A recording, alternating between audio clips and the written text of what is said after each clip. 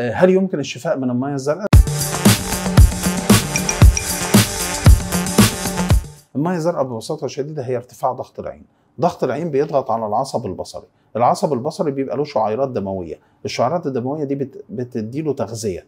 والعصب البصري عشان نبقى عارفين بيبقى عبارة عن مليون و200 ألف ليفة عصبية ماشيين في قطر حوالي واحد ونص ملي معجزة من معجزات ربنا الحقيقة موجودة في العصب البصري ولكن المعجزة دي في نفس الوقت بتخلي الألياف العصبية دي التغذية بتاعتها يا دوبك على قدها. لو ارتفع ضغط العين وحصل تلف في الشعير في الشعيرات الدموية وبالتالي تلف في الألياف العصبية يبقى أنا الألياف العصبية بتاعتي دي مش هتقدر تنقل الصورة بشكل كويس وهيحصل فيه تلف متعاقب يعني هيفضل يزيد. طب أنا وظيفتي إيه كعلاج لضغط العين؟ علاج ضغط العين طبعا بينقسم إلى قطرات طبية وعلاج جراحي وده مش موضوعنا. لكن هل الجزء اللي تلف يمكن تعويضه؟ في أغلب الأحوال الجزء اللي تلف صعب جدا تعويضه لأن الأعصاب لا يتم تعويضها.